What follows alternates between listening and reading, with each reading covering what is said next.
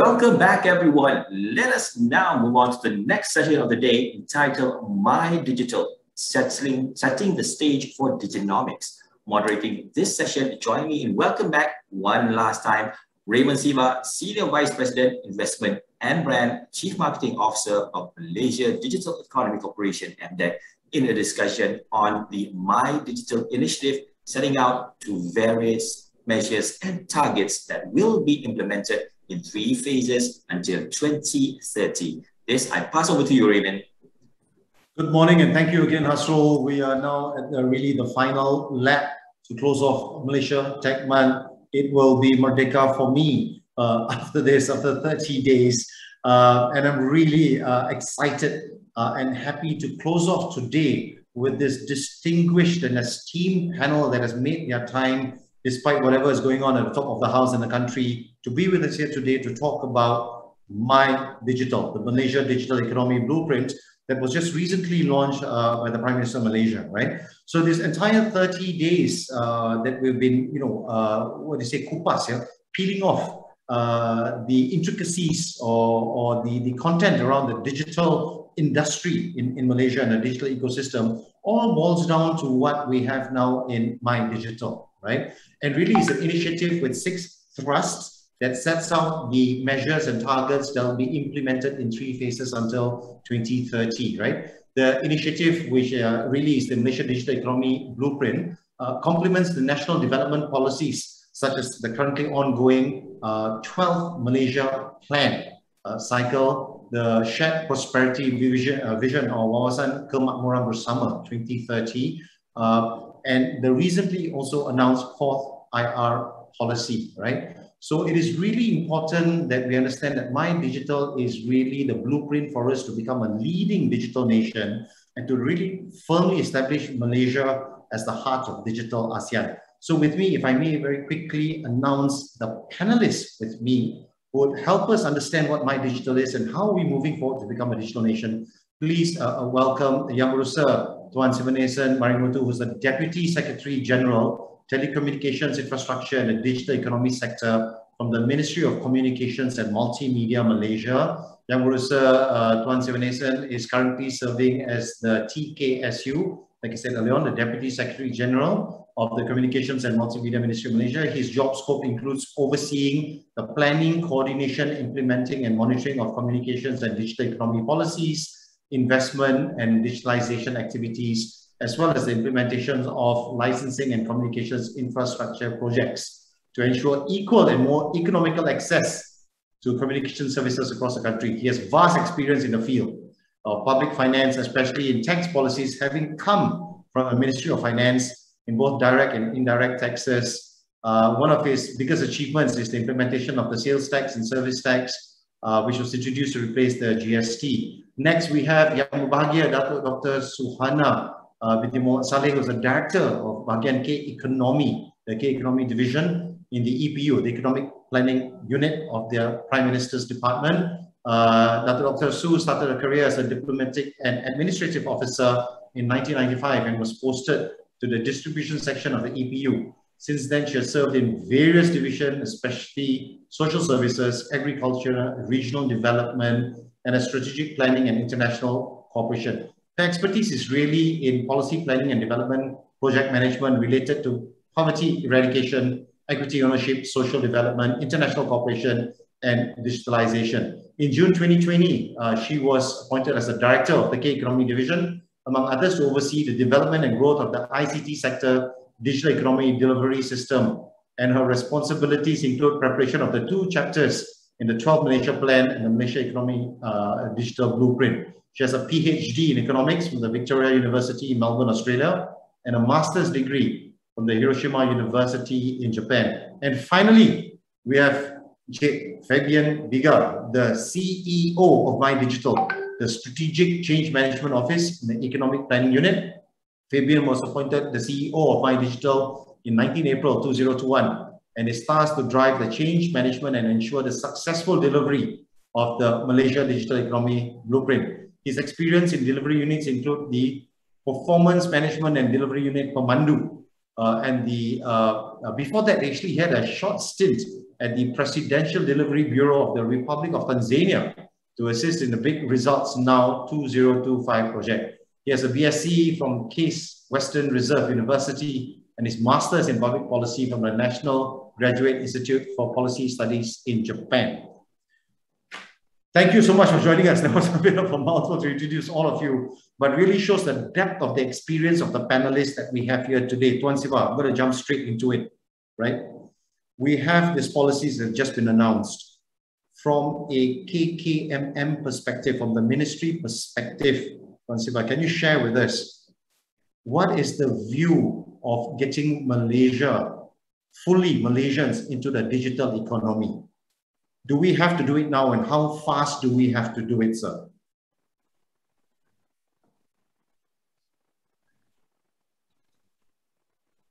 Thank you, Raymond, uh, for inviting me, inviting me to be a panelist on this uh, uh, Malaysia Tech Month uh, closing session.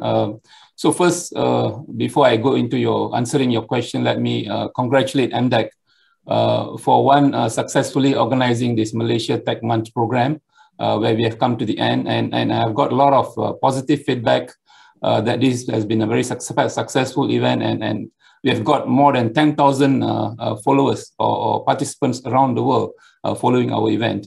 And, and at the same time, I also like to congratulate MDEC for being a, a lead agency in promoting e-commerce, digitalization, and so on from 1996. And I have been with the MDEC journey. so it, it is my, very close to my heart as well.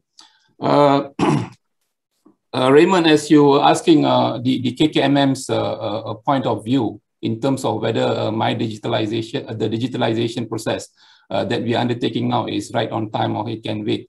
Definitely there's something which we cannot wait, wait and it, it should happen yesterday actually, you know. Uh, so uh, it, it's a game where we are chasing each other to be in the forefront. So as you know, uh, uh, KKMM has been entrusted uh, one of the, the important role of ensuring the, the, the connectivity as the fundamental or, or, key area to ensure the success of My Digital or the, the whole nationwide digitalization process. And, and we have a very important role to play here and we cannot afford to delay this. And, and by having this My Digital plan uh, uh, framework, uh, we make sure that you know uh, it is done in a very planned and uh, uh very structured way. We have targets to meet, and, and uh, our expectation is that in the next one or two years, we will have a very good connectivity to ensure that all the plan or the programs under the uh, My Digital will be smooth sailing to ensure that everyone is connected and so on.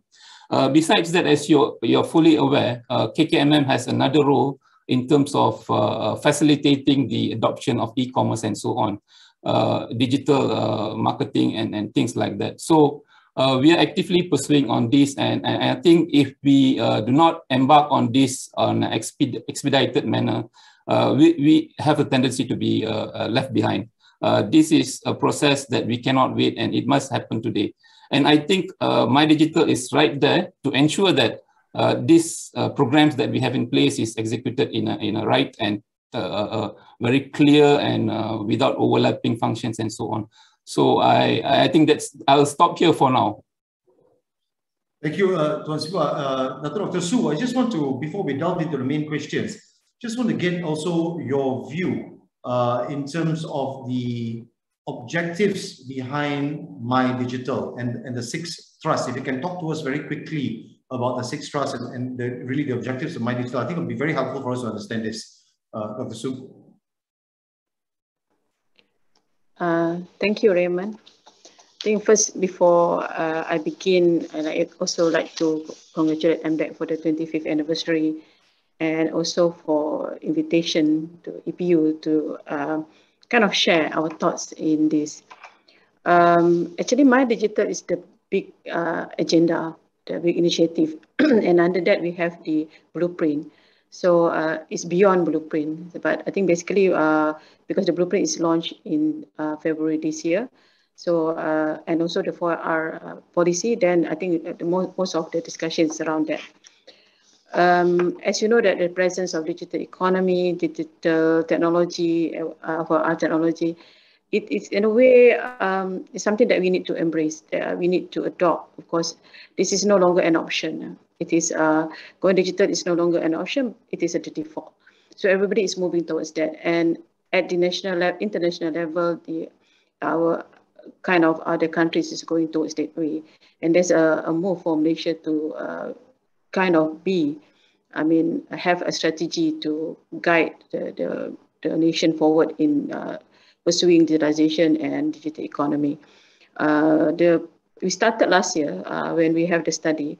During that time, I think that there's quite a lot of answer. I mean, we are not sure the type of readiness Malaysia uh, in, I mean, in terms of digital digitalization, digital economy, where Malaysia are, are we doing, uh, I mean, there's enough, uh, there's not enough information during that time.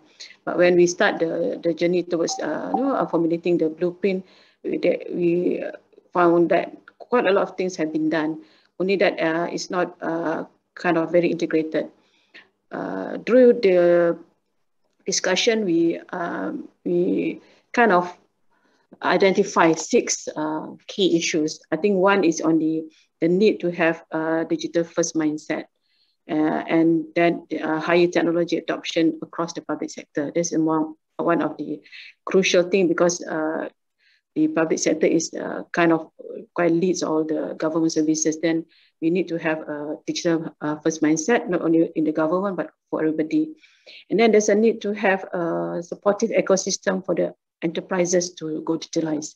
that means the companies, we, we have to create the ecosystem for them to uh, adopt, you know, uh, digitalization.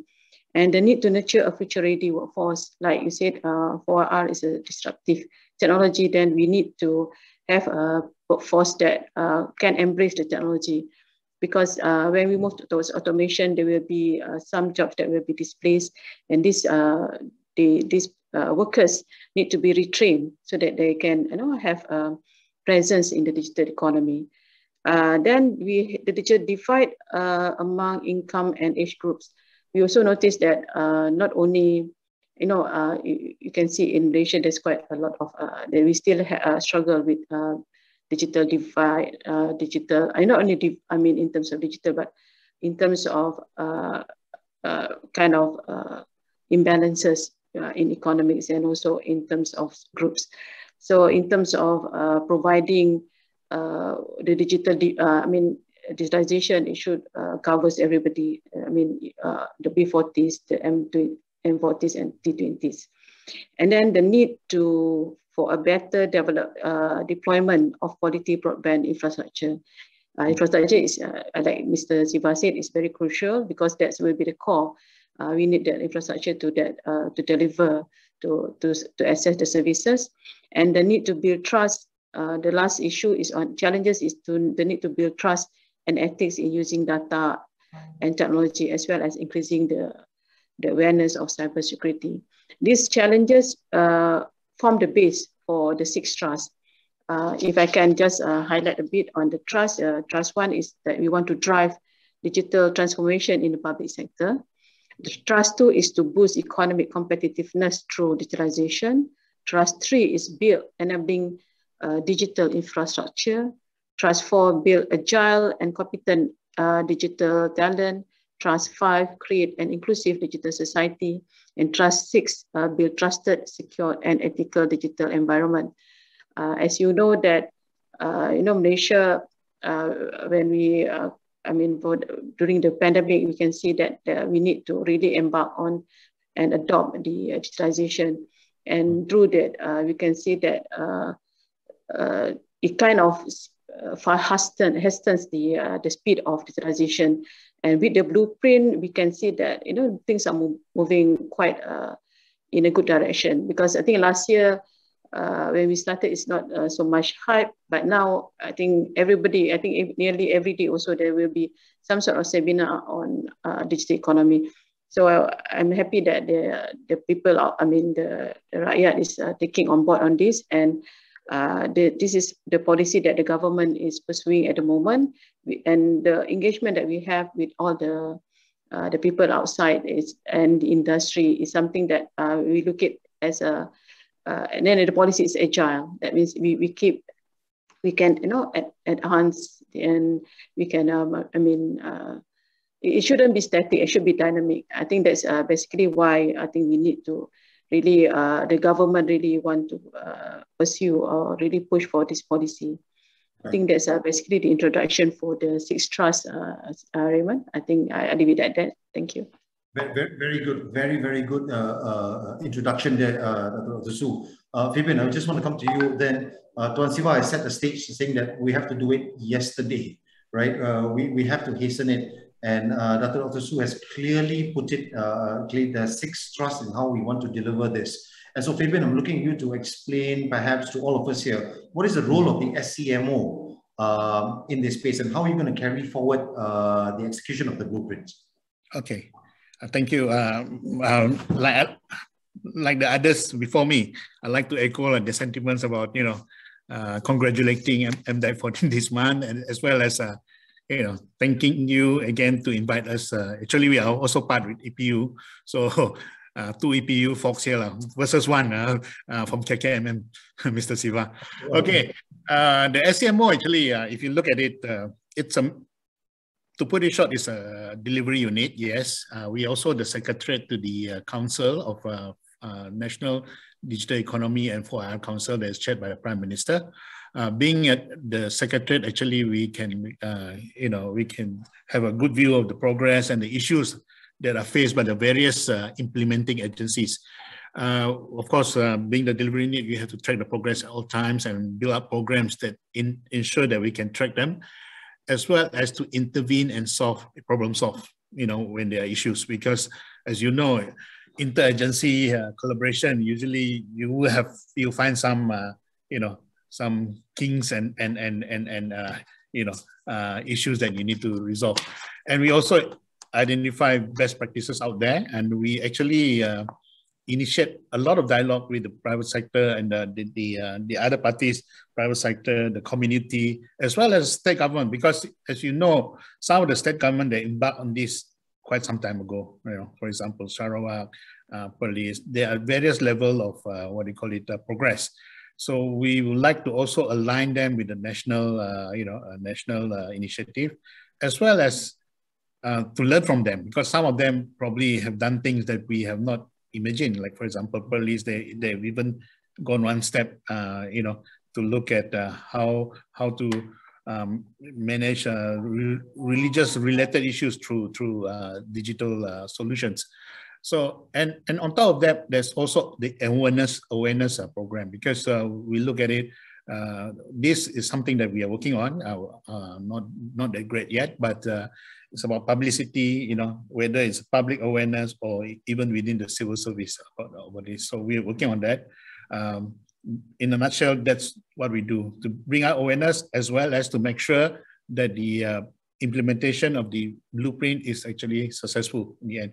Because uh, we are not the implementing agency, yeah? because like MDEC, you guys are, uh, KKMM, you guys are, you know, but we actually sort of, uh, you know, ensure that everything goes hopefully in between the agencies as well, together with the private sector and the other uh, sections of the community. Thank you, Fabian. So that, that's a really interesting point because you know in, in, in the in the time that I've been uh, you know with with KKMM and with MDEC, uh, you know a lot of uh, feedback that I get firstly from the media and recently also from the investors is that uh, there's so many agencies, so many agencies, and, and everybody's making a grab to do something around around digital right? Uh, and it's not it's not bad because you know it just shows that across the government sector, across the country, everybody's moving to digital, right? But to that point, uh, Mr. Siva, I need to come to you and say, you know, fundamentally, fundamentally, digital and technology is an enabler to better lives. Uh, you know, uh, access to education and so on. So according to the Mastercard Fletcher School of Digital Evolution Index, there have been huge gaps in digital capabilities and readiness between the different ASEAN countries, and, and, and that's to be expected. Yeah. Uh, what is Malaysia's position in this, given the fact that one of the key initiative of My Digital is, like we heard from Dr. Su just now, is you know capacity and capability building via connectivity. What's your take on that, Mr. Uh, okay, uh, ASEAN has grown to become the uh, fifth largest economy in the world, uh, with a combined uh, GDP of almost USD uh, 3 billion.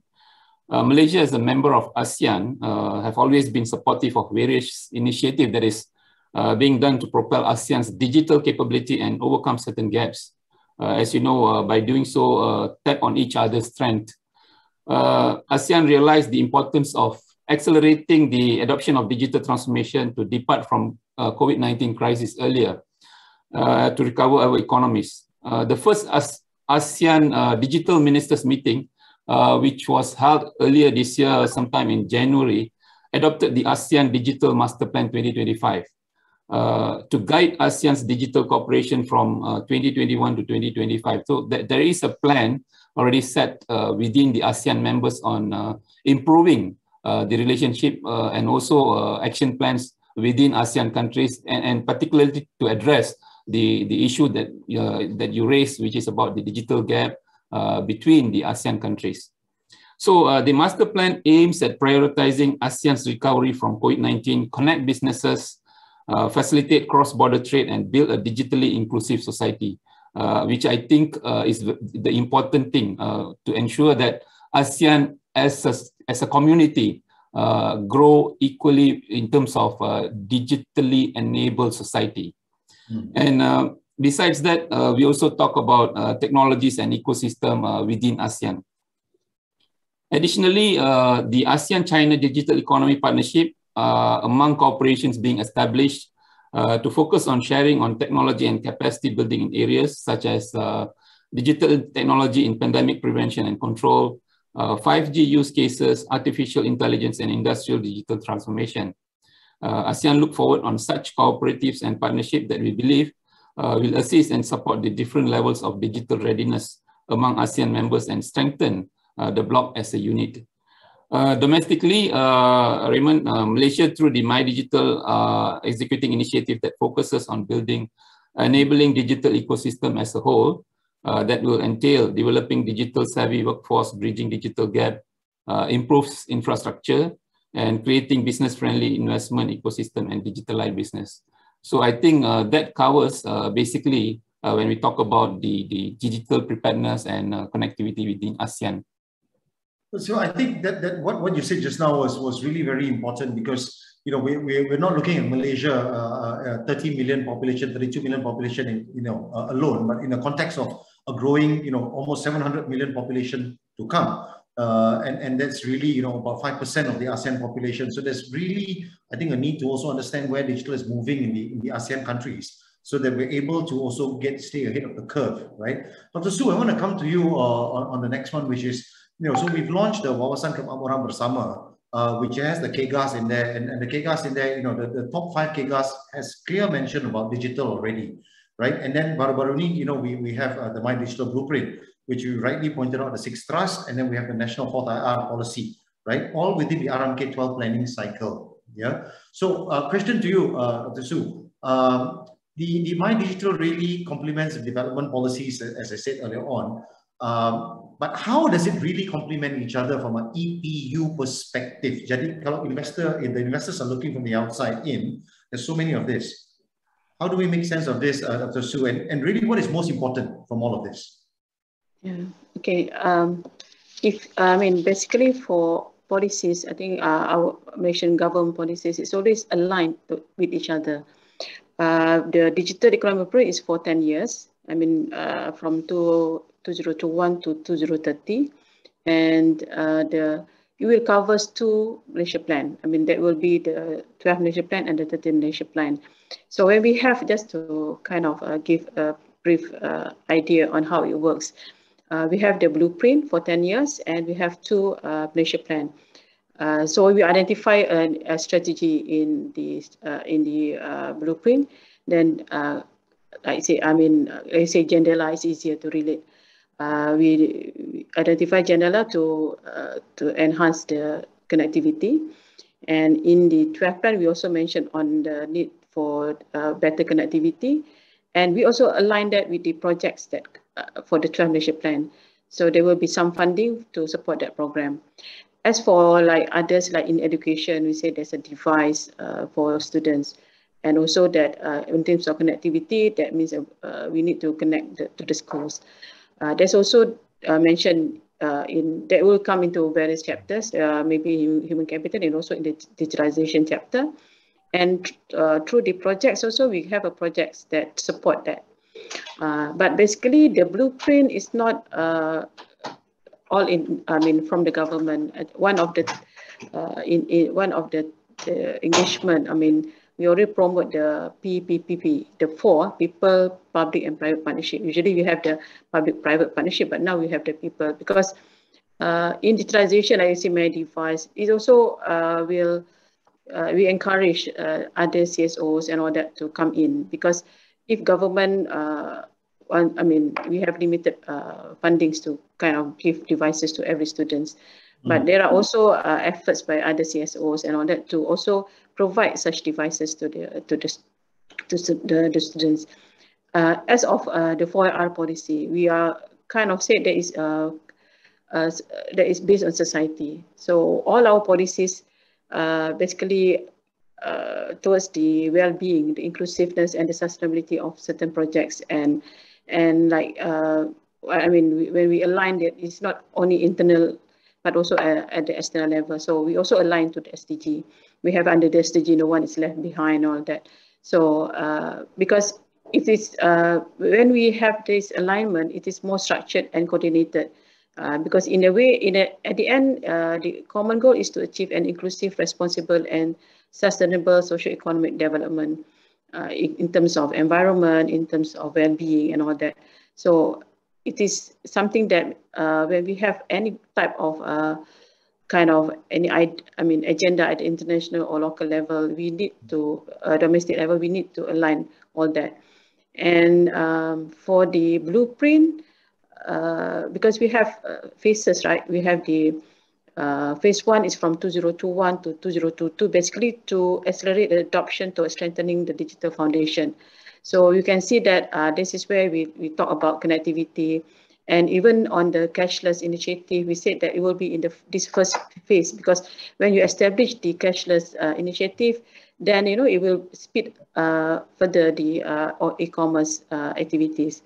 And the second phase is from 2023 to 2025 to lead an inclusive digital transformation. Then we can see once we have all this uh, uh, foundation, then the, the businesses, then it can you know, uh, speed up.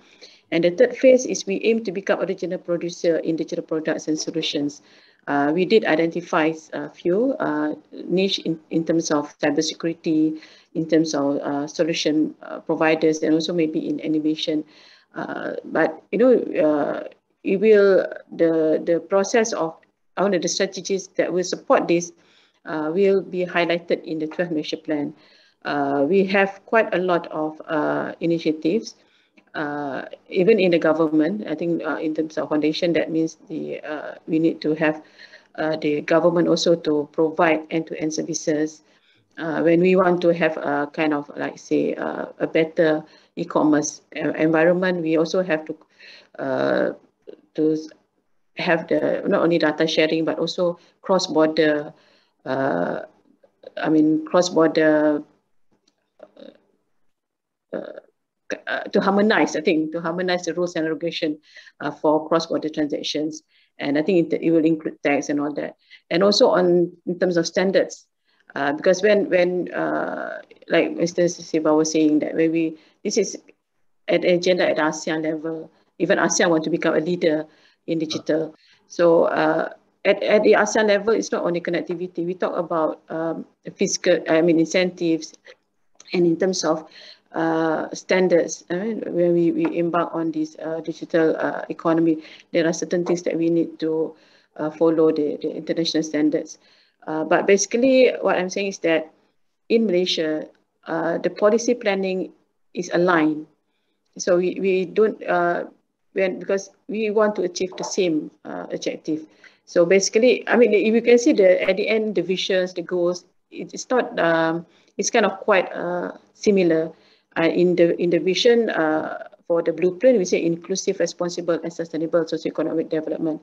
Uh, for 12 pen, we have something uh, a bit different wording, but uh, similar. It's the end, socioeconomic development, uh, sustainable development, you know, in terms of environment and prosperous. That means you want to be uh, the growth in um, to be a higher income nation.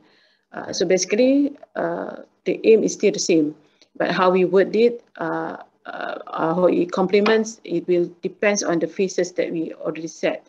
And for the uh, 12 plan, I think we were going to, hopefully we can launch it soon because uh, actually the, the 12 plan should come sooner, right? So that you can see the mapping, but because uh, the 12 plan will only be launched a bit later, then it be, sometimes I think uh, people cannot see how it, it kind of complements. But once uh, we, we launch the 12 plan, I think we, people can see how the 12 plan will complement better the blueprint. Uh, in terms of um, engagement, uh, I just want to highlight on that because in any policy formulation or planning, there is quite an extensive engagement. Uh, right, uh, Fabian was uh, saying just now, you know, we engage the uh, uh, ministries, agencies, industry players, NGOs, SCSOs. Uh, during the planning, we engage a lot, and even so, uh, when we when we launch after this on the implementation, there will be quite a lot of engagement because it is and it should be agile and it should be. We want to speed the implementation. Uh, one of the important, I think, vital milestone when we have the when we when the government uh, established the national digital economy and 4IR council. Because before this there's everybody is the player everybody uh, uh, each minister is doing something. But under this concept everything is being uh, governed you know? Uh, so through the six clusters then we, we it's more coordinated. So there's uh, each, each, uh, like for talent the ministry of human resource is kind of leading it so the, the efforts is uh, more aligned and more coordinated. And one of the important, uh, I think, important thing that we, we kind of establish also is on the definition. Because internationally, there's quite a lot of definition on this uh, digital economy. But, you know, to, to track things better, we, we come up with a, a definition that digital economy is the economy and social activities that involve the production and use of digital uh, technology by individuals, business, and government. So we can see it uh, because before this we have only the ICT satellite, in which it might be you know uh, underrepresented. So with this uh, kind of uh, this definition that you know uh, things are more coordinated.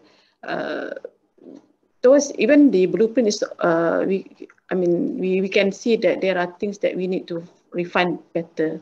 Because uh, in terms of talent we just say broadly that okay we need to uh, kind of uh, train like 50,000 professionals. But we are did not uh, have not yet to define in which area in which uh, in which sector. Uh, as we as we move, I mean, eh, because the, the time is 10 for 10 years. So maybe in the 12th plan, we just say that we need to further, you know, train on cybersecurity and all that. But as we move to a certain plan, then we can, maybe we already by then we already know by clearly in which under the BISCO uh, code, uh, which areas. No? So uh, this is a refinement. When we move, is a refinement towards. But we we we start with blueprint and we complement with the 12 nation plan. And towards the end, uh, you know, everything is 12, 10 years plan. And then in the end, is uh, will be a high income, sustainable, and uh, you know, uh, with a prosperous uh, Malaysia.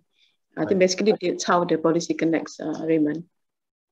I think you you put it really, really clearly for us to understand this, uh, uh, how the policies all come together. I mean, that's really important that the end objective is harmonized between the different policies and the plan. And we iterate as we go along, as you said, RMK 12, uh, you know, perhaps could have come a bit sooner, but it's there. And, and you know, all this led us up to the same thing so we can see it in the next two years. Fabian, I need to, to ask you this, uh, based on what Dr. Su has said and also what Tuan Siva has said earlier on. Uh, what are we doing to ensure that no one is left behind? Because, you know, we, we, we talk about digital, we have these plans, but the reality could be uh, that, that maybe the connectivity is not quite ubiquitous, we're working on it. The reality could be not much devices and access to devices, and we're working on it.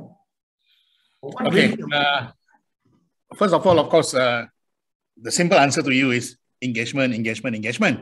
But then uh, there are other things that we, uh, for example, uh, just taking a leaf from what uh, Dr. Dr. Suhana has mentioned, one example, the devices, uh, you know, for the B40. You, you know, there, there is an initiative under the blueprint that, that actually, you know, allows us, I mean, provides for devices for students that are underprivileged, mm. right? If you look at that blueprint, it only captures the ones uh, initiatives under the government. And uh, what we did is we realized that there are a lot of initiatives here and there. For example, the state government are providing, uh, recently, last week, I think, Johor announced that uh, they provide 8,000 devices to the students. Mm. And then uh, we also know that there are some civil society going out around collecting all these uh, used laptops and get somebody to refurbish them at certain cost and then, uh, you know, do that. So what we did was we contacted all these groups, you know, and, and tell them, do share with us your target, uh, uh, what they call it, target recipients. And we will actually now bring in MOE in and said, look, you know, we need to synchronize all this. We need to actually, uh, you know, count all this because to me, it's not just the one that is uh, undertaken by the government. This is a national blueprint. Hence, all activities carried out by whether it's the people, the private sector, or the state government should be counted. Mm-hmm. So uh, that is one good example, you know, on how we actually scan around and see, okay, uh, there are existing initiatives that need to be included, okay? Uh, mm. So that uh, the numbers add, add up and then we make sure there's no double dipping, there's no overlapping uh, thing, and we maximize uh, the efforts from the various quarters.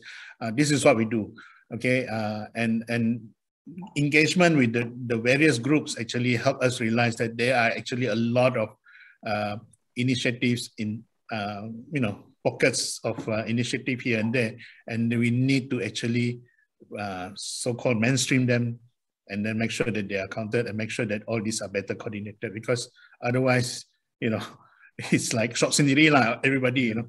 Yeah. yeah. So that, that's one that's one approach lah, that we, we, we take, you know. Yeah. Right. Uh, Mr. Siva, I, I, need to go back to you. Based, based on that conversation earlier on where we're trying to push access in, you know, get the collective, you know, Malaysians in. And even in my earlier session, we looked at that where Malaysians are helping uh, Malaysians in. But, you know, on, on, the, on the bigger picture, as we talk about digitalization and adoption of digital in society, we also need the foreign direct investments to come in. And we see that, that ASEAN as a region has attracted really, you know, there's a recent surge of investments. La. We see that very clear. Singapore, Indonesia, Thailand, including Malaysia, uh, we're, we're getting the investments in, right? Uh, manufacturing may be a bit slow, but digital has gone up, right? And, and so the e-commerce sector specifically uh, has gone up, right? Access to mobile devices has means now I can go online, I can buy anything I want, sell anything I want uh, here. But also there are also barriers to entry and each country is trying to protect their turf, so to speak, lah. you know, Mr. Siva, there's a slow regulatory reform, perhaps also the lack of understanding on how to do that you know, the regulatory reform, right? Extensive bureaucracy, lack of government incentives. So, you know, in, in various parts of the region, you know, it, it could curtail this potential of e-commerce. From your point of view, uh, Mr. Siva in KKMM, how are we addressing some of the pain points around e-commerce? Because I think that's the tip of the spear to get people into digital adoption. So I think uh, in terms of attracting investment, uh, we are we are we have successfully laid some foundation as, as in the past. Uh, we are one of the most uh, desired destination for investment. Of course, there is a, a little bit of uh, you know uh, distraction in the last couple of years where we had this pandemic coming in. you know, but but it's gaining momentum again as far as you know digital economy investments really, really are concerned. So, uh, for example, uh, the, the focus of attracting investment and enable formation of digital ecosystem are like uh, putting in place uh, digital infrastructure, uh, such as connectivity, cloud, and 5G, uh, market opportunities to sell products and services, availability of local talents, and ability to bring in foreign talent, which is an avenue to raise alternative financing beyond bank backed financing, such as uh, venture capital matching program as in announced in Dana Penjana initiative. Uh, so we are we are setting the, the the stage right for investors to come in. Uh, besides that, uh, I think My Digital addresses all these needs to build uh, enabling uh, digital ecosystem. that's a very important thing, and and and we see that, for example, under the National E-commerce Strategic Roadmap, for example, uh, we have more than, uh, I'll say, close to uh, 500,000 MS, MSMEs uh, have adopted e-commerce. Uh, so they're already in the game uh, where uh, about 400,000, I'm just putting a rough figure, it could be within 380 to 400 plus, uh, thousand of SMEs already trade in e-commerce by end of 2020. And, and, and this year, if you notice that we have escalated the process by enabling the training centers and whatnot through Pusat Internet, Pusat Internet Community and whatnot to get more SMEs on board to, to uh, adopt uh, the uh, e-commerce and so on. So uh, when we have that uh, community of uh, e-commerce community here, it, it, it, it, part, it, it, it, proves that government is serious about it and, and we see that the investors who are coming in would, potentially see the market here ready. And besides that, uh, well, well, uh, there were challenges, uh, just to give some uh, figures to this. Well, the, the challenges uh, which I spoke about earlier about external economic conditions. Uh, exports expected to jump to 11.2% in 2021, a significant rebound from the minus 8.9% seen in 2020, as a global demand stabilizes and investment in export-related activities continue to improve. Uh, I think Malaysia uh, is starting its digital economy from a, a, relative point of strength with a strong electronic uh, manufacturing base, uh, multilingual skill and uh, uh, skilled talent pool, together with low cost of living and relatively high internet penetration. So on top of that, I think addressing some of the concerns that you, you raised about the barriers for investment. For example, the incentives. I think Malaysia is one of the uh, uh, uh, one of the country that offers a significant amount of incentive uh, to investors, uh, which I believe sometimes it confuses them more than uh, facilitates them. So it's it's all there. It, it's just that currently, as you're also aware, that MOF is undertaking a, a scheme of rationalizing all these incentives to make sure that the right incentive is given, especially in terms of tax incentive for the digital investors as well. Uh, on top of that, I think uh, the concern is also about those uh, startups and those onboarding into an e-commerce business. I think this is something that we will work with MOF in the coming budget 20, 2022 to put in place some form of incentive uh, to further uh, encourage them to participate in this e-commerce business. Uh, probably in, in, terms of a waiver of uh, tax for the for the startup years, probably for three years or so on, which we have done in the past, where you know uh, SMEs uh, starting up their business were given a three-year waiver with a rebate of up to twenty thousand, uh, which is quite significant in that sense.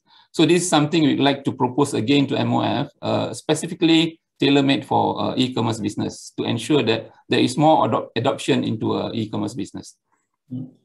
Besides that, I think as, as Dr. Suhana mentioned earlier that, that about the, the uh, Uh, changes that we are doing uh, within the regulatory uh, uh environment, which includes uh, standards, consumer protection, I think is one of the important things, as well as other related regulatory environment. of course, as, as you may know, there, there are certain licensing regime which is not favored by investors. So in KKMM, we are working tirelessly to ensure that we try to minimize these barriers to ensure that there is a smooth movement of uh, uh, investment into Malaysia. And, and, and, and, as an investor-friendly country, as we have always been, uh, to ensure that you know uh, the investments are protected here, that we, we facilitate their investment, and to ensure that you know uh, there is a very uh, friendly environment for investors to, to put in their money. besides that, I think th there are also non-tax incentives that we can put in place, and they're already in place to, to attract these investments. I think one, there are special grants that we are giving to some potential high impact investors, uh, which is uh, something that we can negotiate with the investors uh, under the uh, special investment uh, uh, grants. And there's also, of course, facilitation by MDEC itself. And the setting up of a digital investment office, I think, is a great milestone to put Malaysia in the forefront as a single point of contact with our digital investment office to attract these FDIs. I think in the past, as you, you rightly mentioned, there was some bureaucracy involved and so on, which delays the uh, decision-making process. And I think uh, under the new, new commitment that uh, we have given under the uh, DIO arrangement, a company coming to Malaysia can get their approval done uh, within 14 days uh, if that's with it, without the incentives uh, and and and if it is with incentives, I think the, the, maximum number of days to be approved and for them to uh, kickstart their business is within 30 days. I think which is uh, which we need to promote this uh, more uh, and, and bring this out, the news out to the world so that they know how efficient we have become. Uh, I think that there was a, a, concern in the past that there is a lot of delay and uh, bureaucracy in the decision-making process to attract investors. I think we have done the right thing by setting up the DIO, but there's more publicity need to be done on this part. Uh, I think uh, I, have covered uh, a bit on that and, and I'll give the floor back to you. Thank you, Siva. I, I agree with you that uh, DIO needs a, a lot more fire, uh, you know, to push it out there, not to burn it down, but to really, you know, get it out there. Uh, but Dr. Su, I want to come back to you based on what uh, has just said just now. So as we, I, I, can see the energy within the government space here. All of us are, are, looking forward to really push this country forward to become a leading digital nation. Uh, from your point of view, though, uh, Dr. Su, what is the rate of participation from the private sector when it comes to the initiatives? Because you know the PPP model is still, I believe, uh, uh, the way forward. Uh, what is EPU or your view on this? Mm you ask me the rate, I'm not sure about the rate, but we can see that um, if we if we look at contributions to GDP, uh, I think 2020, 2019, 2020, uh, the rate, uh, the contribution of digital economy to the GDP is around 19%.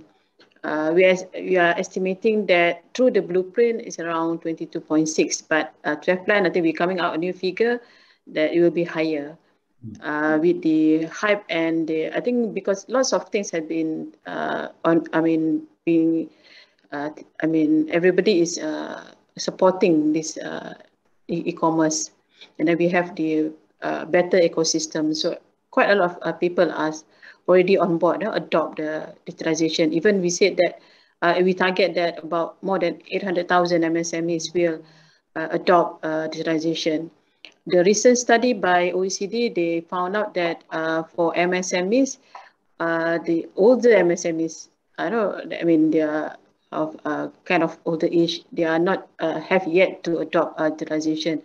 But we believe that uh, there's also a study that says that if a company did not move towards uh, e-commerce or to adopt digitalization, they might not uh, uh, they some of it cannot be able to sustain their production and all that.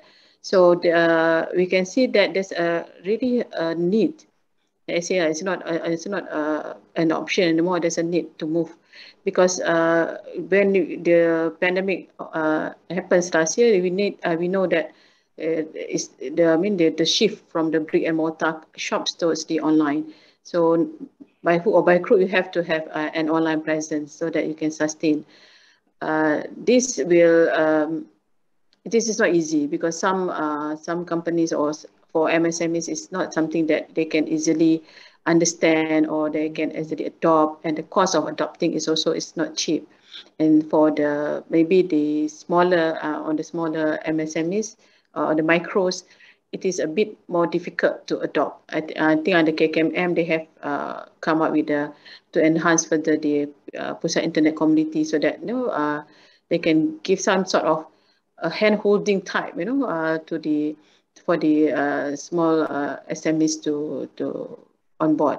So that is to that level. So we have, I think in, in Malaysia, we have very at the low end, at the, and then quite a lot of people are doing well on their own.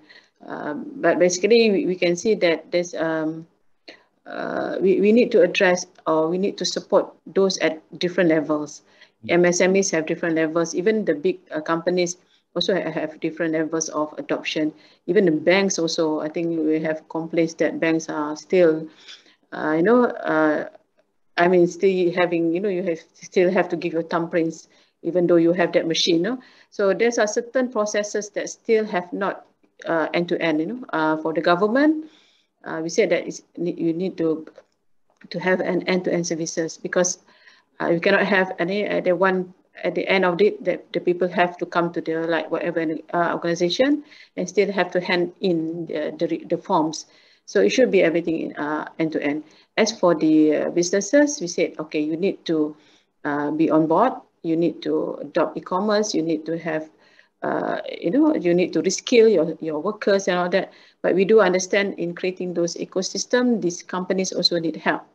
And uh, maybe I think because when we have that, uh, you know, we have international uh, investment or for e-commerce, then we can also, uh, some of these these companies might, you know, move faster.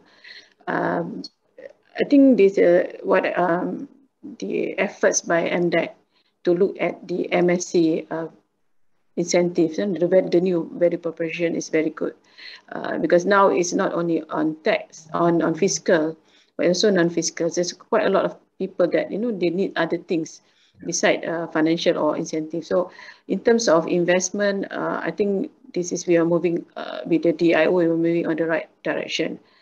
Uh, just that that uh, how that we can help further uh, the MSMEs to kind of uh, go uh, beyond the export market all that.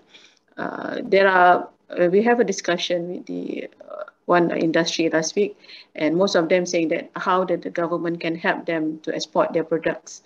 Uh, we thought that uh, you know we are they are being big companies that they are able to do that, but you know we're talking to them they also feel that they need because uh, it's difficult if they want to go alone. So it's uh, work both ways. That we at the moment we we welcome the investment because we want to grow further, but towards the end, uh, what we want is that we are the one who export our talent, our products, and uh, uh, and then uh, any collaboration to also help the other countries.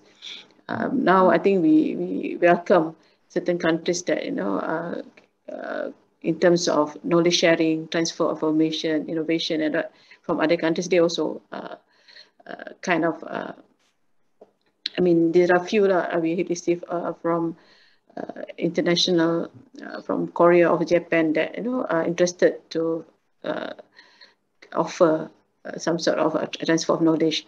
Um, it is it's good good for ours our our companies I think but uh, towards the end, I think like the aim of the vision of our blueprint is that at the end, we also be the one who are going to transfer the knowledge outside. And in doing so, through the 4IR, we, we need to become the creator. Uh, we, now, at the moment, we are just the adopt, you know, we just use. Towards the end, I, I think if you uh, can, I can relate to theory of convergence, that means you need to have to create the innovation so that you have the competitive advantage. This is where that we want to move uh, with the blueprint and also for the with the for art technology because technology will keep on moving you know by the maybe by the end of uh, 10 plan is no more for R already like 10 for uh, 10 industrial revolution so maybe during that time we another another uh, blueprint you know maybe it doesn't call digital anymore maybe you have another name but the the the the back of that back is that the technology all these uh, digital, all these four are the, the main component, the enabler is the technology. Then this is where uh, I think for Malaysia, we still need to um, to kind of create that awareness that we need to adopt, adapt, embrace all that. Uh, and then if we can create, it will be created faster, then we will have that, uh, uh, we call say, the competitive advantage. Uh, basically, what I can see is that uh, the private sector, if they can uh, go beyond, they, they can become a creator, innovator. Then instead of like we are targeting about 20 plus contribution of uh, digital economy to the uh, to the GDP, maybe it can become higher uh, because we, this is a kind of a new sources of economy, right? So like if everybody you know uh, contribute more than than what because where we estimate is just a uh, it's not a very ambitious estimate. Uh, we feel that uh, uh when, when if things move faster, we can get higher uh, contributions to GDP. And if that happens, I think this the, the spillover effects will be very high to other other subsectors as well. Because when you, you know, digitize, it, it does not affect one sector across many sectors. Absolutely I think if, if, if you you ask me regarding the the uh, contributions or the role of the private sector, this is where they can play and to kind of contribute towards the uh, growth of the uh, digital economy in Malaysia. Fantastic. Fabian, you know, just to take off of Dr. Su, I think that this is a question actually coming in. Yeah? We've got a couple of questions coming in already. Um, yeah. So as we take on, you know, the private sector and your, your engagements with the private sector, and you finished, uh, you know, a couple of engagement with Engagement Day as well. The you, right. uh, a question has come in and say, can you give me an example of a PPP in addressing the socio-economic development that's being uh, led by uh, the SCMO? Uh, is there an example that we're working together? Uh, okay, they put it this way. Uh, there are a few proposals coming on, uh, coming in from uh, some big names. I can't unveil them yet because uh, I'm bound by their, you know, uh, NDA and all that. But I can assure you, actually, there is one that's quite huge that looks at, uh, you know, uh, attracting talents as well as it looks at uh, urban development. It looks at uh, exporting our knowledge all in one package. Mm. Yeah, I, I can I can I can say that. Uh, just wait for a couple more months before they are ready to to to to actually unveil themselves. Uh, but uh, but there are a few that okay. For example, even the the I go back to the story about the de devices. There are actually uh, a few proposals that come and say like, look, you know, um, uh, why don't we we we do this for you? Uh, we get the telcos to fund, uh, you know, to fund the refurbishment, and then uh, you know, and uh, what do you call it, and distribute, and then we exchange the uh, information database together with MOE so that all are aligned. But you see, all these ideas we need to coordinate them because uh, as far as I know, uh, correct me I'm wrong, uh, Mr. Siva, MCMC actually is in the works, uh, is in, uh, what do you call it, uh, has a plan to do this as well. So we want to make sure that they, they also don't overlap. There are a few, you know, ideas that come up, but, you know, uh, we do want to ensure that it is properly, uh, what do you call it, uh, organized so that we don't overlap. If, if MCMC is already doing it, you know, why not let them champion it and then work together with whoever that's providing that that proposal. So, uh, question here, Fabian, and I think it's important before I go back to Siva is, you know, right. so we talk about uh, the, the current e-commerce landscape and also the procurement landscape, right? So we're looking at a B2C approach, right? Getting yeah. our, our guys to look at the, but you know, the truth is our consumer market is what it is. The size is not quite there yet. And that's why yes. we keep go to Indonesia, going to look at ASEAN as a, as a, as a big market. But then there's also a B2B play. Yes right? And, and yeah. you know, a, a, lot of times we hear our tech companies coming to us and saying, "Apa ini procurement process? You know, can we can we look at you know getting our local companies uh, yeah. inside? Now we we know the rules, we know the OECD rules, we know we know the other rules. You cannot champion this, but mm-hmm. what can we do to encourage a B2B play so that we don't have to go outside so much? I mean, we've got such great talents and products and services. I guess we need to uh, elevate them to a platform where you know they are visible because we know there are B2B players here. Uh, one good example, Dropee, hmm. right? But hmm. then people don't talk about it. People mostly talk about Shopee. I mean, Shopee is more recognizable than Dropee, for example, because the, the focus has always been B2C, B2C, you know. Uh, when you talk about e-commerce, it's always B2C. So I guess number one is awareness first you know awareness and also providing that a platform to say okay look you know uh, this is where you can come together. And then of course the awareness is not only not only uh, the consumers out there not only the players policymakers as well. Because uh, I know uh, Raymond you're part of this discussion. We uh, before when we uh, when, we had a discussion on uh, uh, you know uh, the DIO uh, there is that uh, statement that you know, uh, when we talk about talent, not only the, the, the future talents or the students or uh, TVETs, but we also need to educate the, you know, those who are in, in policy making as well. Yeah. So I guess uh, that is one step as well that we, yeah. we need to, yeah, we also need to, you know, uh, look at, you know. And uh, can I add a bit about the, uh, earlier on, we talking about the, the cross-border trade and how do you, uh, uh, um, when the one that uh, Mr. Siva was commenting.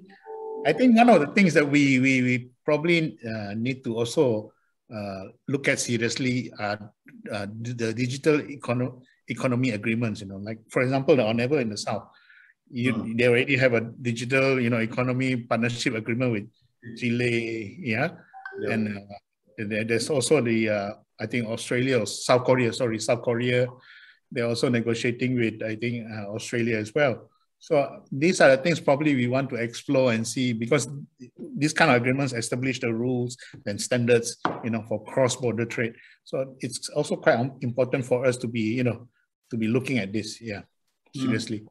Mm. I think that, that's a good point. To come back to you, then you know, um, this is really needed. So when we talk about B two B and B two C, we're also talking about how can Malaysia achieve a high value add economy, right? And really, you know, while we're doing that, how do we create global champions? How do we become a next export, a net exporter, you know, of homegrown technologies, right? And, and, and digital solutions because we have the talent and the skills, right? What's your, your views, please? Okay, I, I think uh, much of uh, this has been already uh, addressed earlier by Dr. Suhana, Dato Dr. Suhana. Uh, but uh, I think how we drive this to become a value added, to, to create more value added companies or uh, become net exporter of homegrown technologies is, is, is partly also uh, skewing the uh, government policies towards this, how we can support these companies to become higher value added companies and, and, and net exporters, targeting towards a more export oriented kind of support system, incentives, and so on. Uh, so if you know, traditionally, uh, we, we were uh, mainly focusing on uh, manufacturing sector and, and that's how we made Malaysia become a, a major net exporter in a way. Uh, so now coming to digital economy is the same thing, how we skew our public policies, in, especially like in terms of giving incentives, support system and all that, where more incentives to be given to those in the export regime. Uh, on top of that, I think uh, there are certain areas that we can give a focus on where we have the niche, uh, you know, uh, where we already have a niche, probably in the area of uh, cybersecurity and so on. Uh, instead of going all over and trying to find that niche, we target a couple of areas that we have expertise and so on, and, and we really push that in terms of government support and whatnot, and also to, to bring together on board all the private sector players in a more collaborative manner uh, not individually, but where, where, where I can create, create a platform for them to work together and bring out this to the uh, international market and so on. I think the collaboration is very important here uh, rather than, you know, we, we leave it to uh, individual companies and whatnot. Uh, as we are a small economy, I think uh, when, when we talk about becoming a, a, a, net exporter of homegrown technologies, there could be collaboration between, you know, institutions, businesses, and so on to drive this, Raymond. Thank you so much. We've got uh, you know other questions coming in, but you know in the interest of time and, and not wanting to delay the other session as well, uh, it has been a fascinating discussion. Uh, I think I've not learned so much in this one hour yet to have all three of you in one stage, you know, and, and really questions are coming in. And I want to share that out uh, as we go later. So on this note, I, I want to say thank you so much, uh, Siva, for your time. I know it's going to be a busy time at the ministry today after 2.30 swearing in of the cabinet ministers. Uh, Dato Dr. Suhana, thank you so much again. Your minister is coming back, so senang sikit. Uh, Fabian, same with you as well. But I think the most important thing for all of us here is tomorrow is Merdeka. You know, uh, it, it's, it's Independence Day for us. Uh, and I think what, what we all uh, understood from these 30 days is that the amount of talent that we have in this country, the passion and commitment to the digital technology service uh, and, and, products that we want to produce, and the policy and regulations that we, that we have uh, to make Malaysia a digital nation is really, uh, uh, uh, you know, something to be really proud of. Uh, I want to say as well, there are some elephants in the room, exemption to the cabotage policy, trusted data zone, and, and other issues. And I want to call it out because this is the truth. Uh, and we are, uh, uh, I think I have the, the understanding here, and I've spoken to all of you at one point or another, that we are addressing some of these tough issues as a country.